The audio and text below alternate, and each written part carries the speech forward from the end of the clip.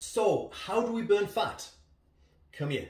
Now first, we've got to remember, fat is just fuel coming in. It's just energy, okay? So we can call fat fat, we can call it energy, we can call it fuel. When we eat, that's energy coming in. Now we use this energy to expend it in three different ways. Now I want to keep this as simple as possible. You'll get some trainers that will bore you and confuse you with NEAT and EAT and the thermic effect of food, but we're just going to keep this simple. But just to address the thermic effect of food, this is simply if you eat more, you will burn more fuel. Okay, so if you eat more, your basal metabolic rate will rise. If you drive further in the car, you're going to use more fuel. If I eat more food, I'm going to use more fuel to digest that food. So we're going to put the thermic effect of food under BMR. So what is BMR? Basal metabolic rate. It's your metabolism. Now, your BMR burns energy just to survive.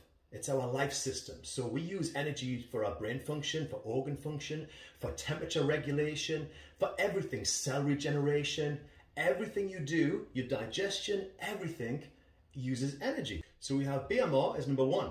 Number two is passive energy, okay? Energy we use without really thinking about it. So this could be cooking, going to shops, going to the toilet, having sex, walking somewhere, cleaning the house. Passive. We haven't planned it, it's just something that we do to survive. And number three is active energy burn.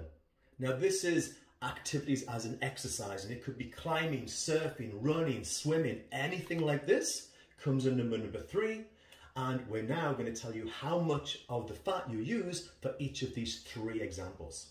So BMR burns approximately between 60 and 70% of your fat per day.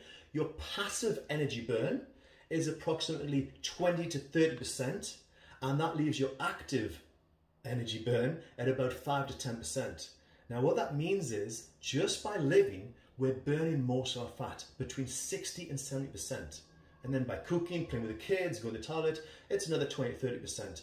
And that exercise you do is only 5 to 10% of your fat burn per day. And that's if you exercise every day.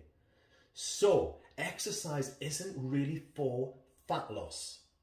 What I want you to think about is nutrition is for fat loss and exercise is to live longer and to live better.